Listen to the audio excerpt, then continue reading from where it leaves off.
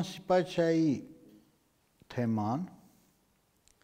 կամ ազատագրման չնայած իրականում երբ պատրաստվում էի, հա, փորձեցի նայել այս հասկացության բովանդակությունները, ձևակերպումները, ձևակերպումների փոփոխությունների եւ էվալյուցիան եւ կարծես թե տպավորությունը համենայն դեպս նախնական, որ սկզբնական բովանդակության եւ ներկայիս ընկալումների միջև որոշակի տարբերություն այնուամենայնիվ կա, որտեվ հռոմեական միջավայրում կամ հռոմեական իրավունքի տեսանկյունից խնդիրը նայելիս այնտեղ տեսնում ես մոտեցում ավելի շուտ իրավական ձևակերպում, ըստ որի ինքը ավելի շատ իրավական կատեգորիայի հարթություն է, որը նշանակում է տղայի հրաժարում ծնողական, հատկապես հայրական կախվածությունից, որից պիտի բխեն նաև սեփականատիրական եւ այլ իրավունքների հրաժարումները եւ փոխանցումները։ Ժամանակակից սոցիալական գիտությունները, հասարակական գիտությունները եւ հատկապես քաղաքականությունը Էմանսիպացիան գործածում է որպես ավելի շուտ ազատագրում, այսինքն իրավական բովանդակություն ունեցող հասկացությունը այսօր երևի թե ունի ավելի շատ սոցիալ մշակութային բովանդակություն եւ այնտեղ ինչ ենք մենք տեսնում, չգիտեմ,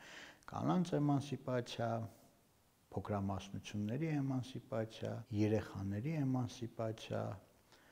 ընդ որում նաև քաղաքացիական օրենսգրքում ամրագրված էմանսիպացիայի իրավունք, որտեղ էլի երբ նայում էին նյութերը, ամենայն դեպս իմ համար էլ շատ զարմանալի էր, որ այնտեղ կա հոդված քաղաքացիական օրենսգրքում անչափահասի էմանսիպացիայի մասին, եթե չեմ սխալվում 24 հոդվածն է, որի ամբողջ իմաստը այն է, որ դու անչափահասին 16 տարեկանից սկսած, եթե չեմ սխալվում, ճանաչում ես գործունակ եթե ինքը աշխատում է պայմանագրային հիմունքներով կամ ուղղակի զբաղվում է ձեռնարկատիրական գործունեությամբ։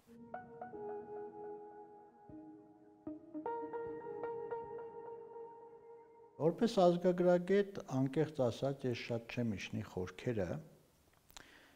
եւ կփորձեմ շատ համառոտ էքսկուրսով ներկայացնել այն, թե ինչ էր տեղի ունենում Հայաստանում սկսած շատ համառոտ 20-30-ական թվականներից։ Ընդհանրապես էմանսիպացիան այդ տարիներին շատ մոդայիկ հասկացություն էր եւ խորհրդային միությունը շատ ակտիվորեն գնում էր տարբեր ազատագրումների ճանապարհով։ Էմանսիպացվում էր կինը, ընդ որում էմանսիպացում էր բոլոր հնարավոր եւ անհնար դրսեւորումներով, էմանսիպացվում էր ընտանիքը, էմանսիպացում էր տղամարդը եւ եթե նայենք 30-40-ական եւ ավելի ուշ շրջաններում հրատարակված գրականությունը, հատկապես ազգագրական գրականությունը, որ վերաբերում էր խորհրդային միության ընդհանրապես եւ Կովկասին այն ժամանակ անդրկովկասյան երեք հանրապետություններին է թվում Հայաստանին, այնտեղ կտեսնենք տասնյակ հոդվածներ այս հանրապետությունում ավարտվեց պայքարը անցյալի վտանգավոր մնացուկների դեմ, կանայք այլևս ունեն հավասար իրավունքներ, տղամարդիկ այլևս ազատագրված են նահապետական գերդաստանի ճնշումից, անարդար ճնշումից եւ այլն եւ այլն եւ այլն, այսինքն էմանսիպացիան որպես ընդհանրական process եւ ոլորտային պայմանական էմանսիպացիաները կանանց, երեխաների, չգիտեմ, քաղաքական, տնտեսական եւ այլն եւ այլն իրենք խորհրդային ընկալմամբ էպոխալ երևույթ էին էպոխալ, որտեղ ունեն շատ որոշակի սոցիալ մշակութային բովանդակություն բայց խորհրդային էմանսիպացիան ինքը մի շատ հետաքրքիր նյուանս ուներ, չնայած ենթադրաբար բոլոր էմանսիպացիաները այդ թակնված իմաստը ունեն, դա այնա, որ իրենք որոշակիորեն լուծում են խնդիր, քաղաքական խնդիր, որտեվ կար խորհրդային իդեոլոգիան եւ այդ իդեոլոգիան պիտի հիմնավորեր շահագործումը խորհրդային հասարակարգում շարունակվող շահագործումը մարդու Այսինքն խորհրդային միությունը ստրկական շահագործումը փաստացի հիմնավորելու համար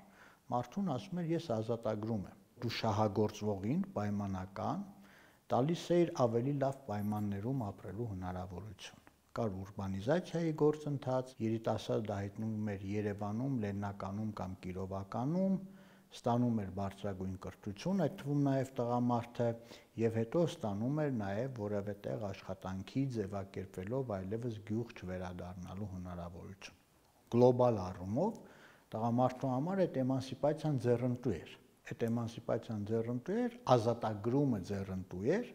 բայց դա սոցիալիստական էմանսիպացիա էր, ինչու որտեվ կար իդեոլոգիան եւ կար այդ իդեոլոգիայի, եթե մարքսիստական, հա, տերմինաբանությամբ կամ խորհրդային տերմինաբանությամբ առաջնորդվենք, նյութական բազան։ Գաղափարախոսության մակարդակում ինքը քեզ ազատագրում էր պայմանականորեն քո ընտանիքից, քո ընտանիքի հետ հարաբերություններում ունեցած կապերից, կախվածություններից, պարտավորություններից, տալիս էր տնտեսական հնարավորություն եւ արդյունքում հող էր նախապատրաստում մի երևույթի, որը ելի եթե հիշենք ոչ վաղ անցյալի խորհրդային միությունը կոչվում էր խորհրդային ժողովրդի ձևավորում։ Այսինքն մեծ հաշվով այդ էմանսիպացիան այս կոնտեքստում եթե նայում ենք, ինչի եմ ես ասում խորհրդայինը, որտեղ ժամանակակից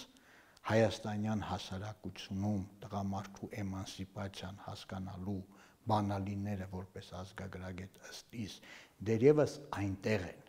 ոչ այնքան այդ ավանդական անընդհատ չարչրկվող հասարակությունում եւ ավանդական հասարակության մոդելում, այլ ոչ վաղ անցյալի խորհրդային մոդելում որը այդ բազմաթիվ եւ բազմակի խնդիրները լուծում էր։ Ինչու եմ ասում ոչ վաղ անցյալի խորհրդային համակարգի մոդելում, որտեվ տեսեք, այսօր եթե դառնում ենք Հայաստանի Հանրապետությանը սկսած 91 թվականից եւ փորձում ենք նայել տղամարդու դերի, տղամարդու էմանսիպացիայի կամ տղամարդու էմանսիպացված չլինելու խնդիրները, ինչքան սիրենք պատմագիտությունը թե չսիրենք, պիտի մտնենք թվերի եւ փաստերի դաշտ։ Ի վերջո 40-ական թվականներին հայրենական պատերազմը տարավ տղամարդկանց մի ահռելի սերունդ, ովքեր զոհվեցին եւ չվերադարձան։ 1950-60-ական թվականներին մենք ունեցանք baby boom-ը, յետ պատերազմյան այդ ժողովրդագրական կտրուկ աճը, եւ 40-60-ական թվականների ծնվածները մի հիմնական մասով ըստ էության դարձան արդեն եւ անկախություն կերտողներ եւ անկախության սերունդ։ Սերունդ, որը massամբ էմանսիպացված էր,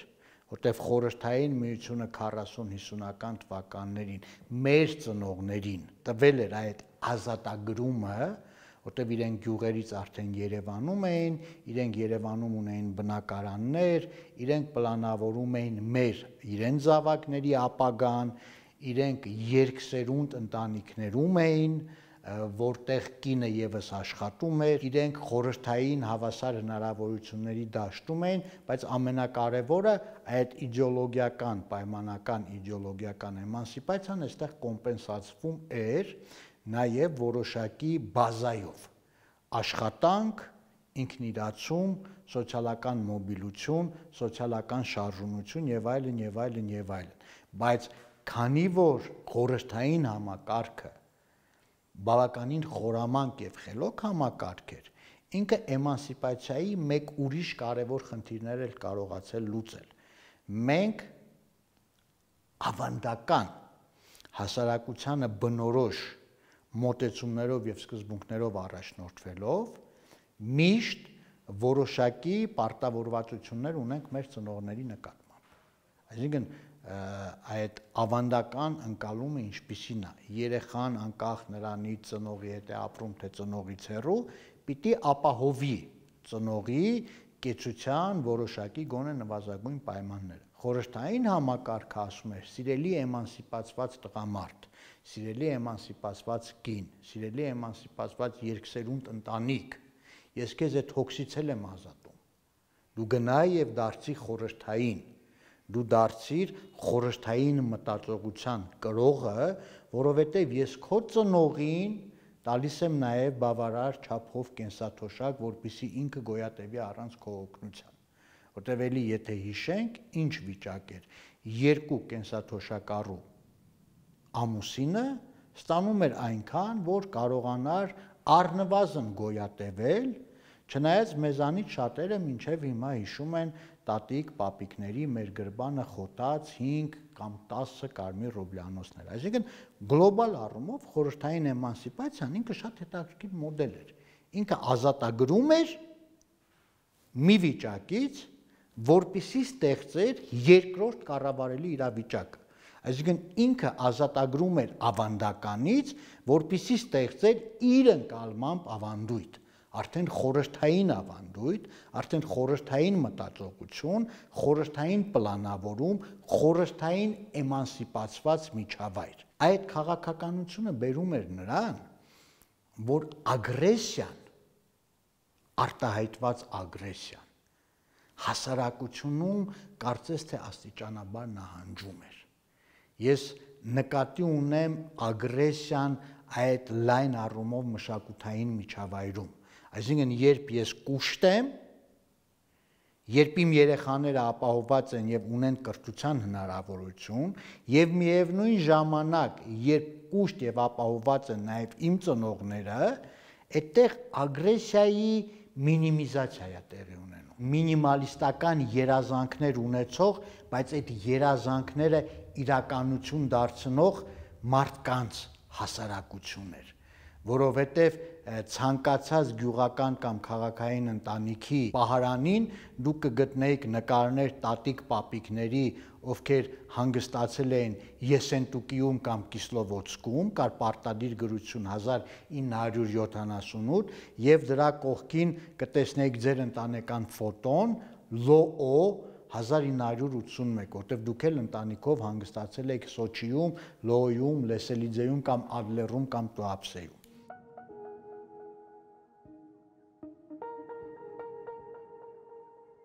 ինչ տեղի ունեցավ 90-ական թվականներին Հայաստանում։ Ըստ էության մենք ունեցանք էմանսիպացիա, ազատագրված մարդկանց բալանսավորված, պայմանական ազատագրված, ոչ թե դասական տեսությունների իմաստով, պայմանականորեն ազատագրված հասարակության փլուզում։ Որտեվ երբ է իմ մեջ որպես տղամարդ մինիմիզացվում ագրեսիան, երբ ես ունեմ իմ տղամարդկային եսը պայմանական հիմնավորելու որոշակի երաշխիքներ, ապահով եւ տևական երաշխիքներ։ Այդտեղ մենք ունենք յուրօրինակ միքս խորհրդայինի եւ ավանդականի։ Ավանդական դերերը տղամարդուն վերագրված դերերը ի վերջո հանգում էին նրան, որ ինքը պիտի լինի նույնիսկ այն պայմաններում, երբ ազատագրված կինը եւս բյուջեի ձևավորման մասնակից է, սոցիալական մոբիլության հնարավորություններ ունեցող մեկը նա եւ այլն եւ այլն, բայց միևնույնն է։ Տղամարդը միշտ այդ ընկալումների մակարդակում գոնե թե կես քայլ առաջ պիտի լինի։ Գոնե թե պայմանականորեն կես քայլ առաջ։ Նույնիսկ եթե ինքը առաջ չի, ընտանեկան միջավայրը, այդ թվում նաև կինը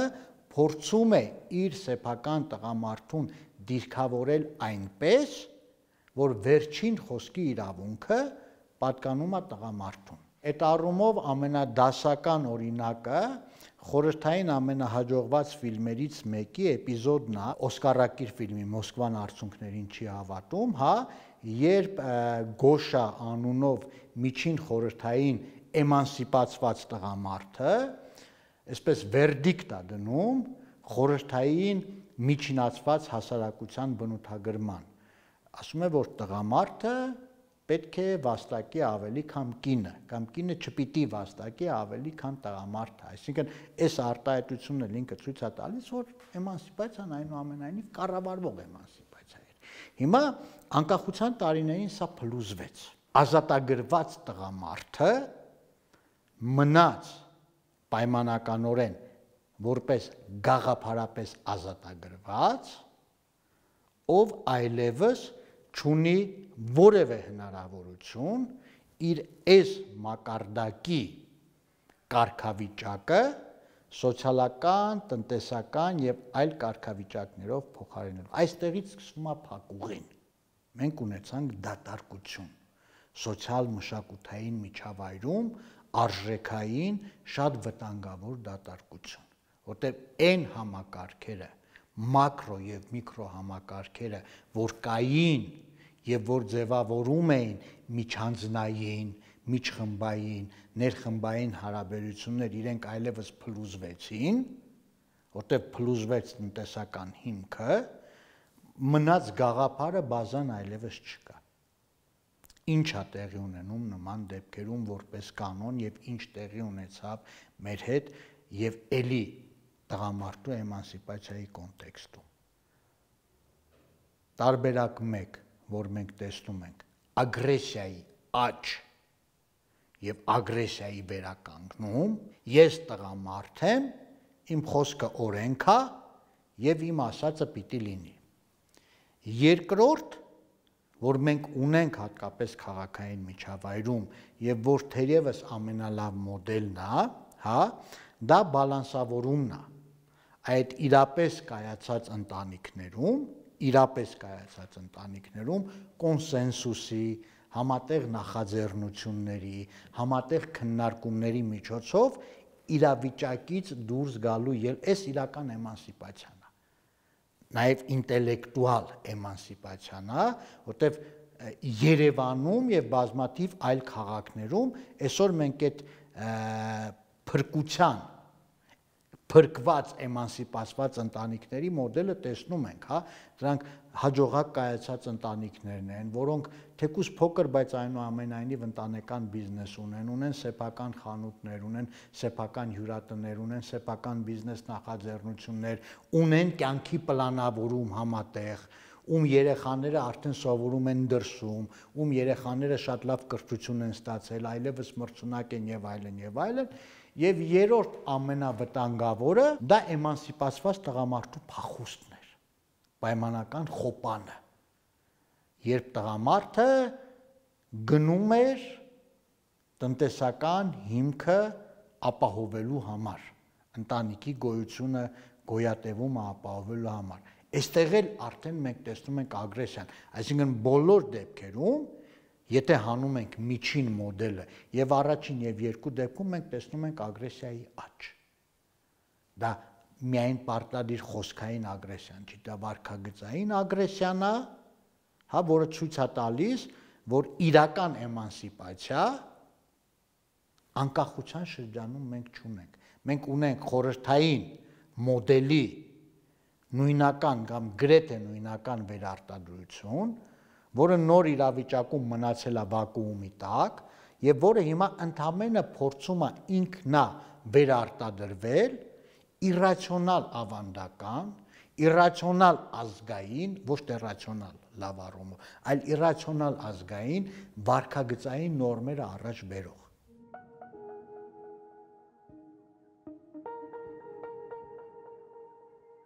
էմանսիպացված տղամարդը եթե արդեն փորձենք ամփոփել, որպես տեսակ գոյություն ուներ խորհրդային հասարակարգում։ Ինքը կարծես թե այսօր մնացել է միայն որպես գաղափարական իդեոլոգիական կոնստրուկտ եւ բոլորը ասում են որ լավ է եւ քաղաքագիտական միտքն ասում որ լավ է եւ քաղաքական միտքն ասում որ լավ է եւ հասարակությունն ասում որ այո մենք պիտի լինենք էմանսիպացվածների հա, հասարակություն դա անհրաժեշտ է, բայց այնուամենայնիվ այն բազան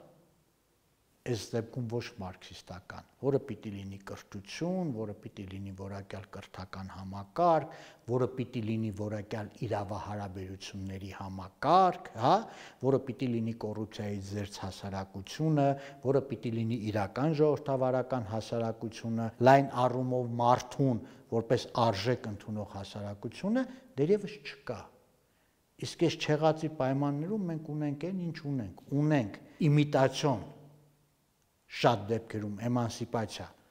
տղամարդու նաև ունենք ագրեսիայի վտանգավորության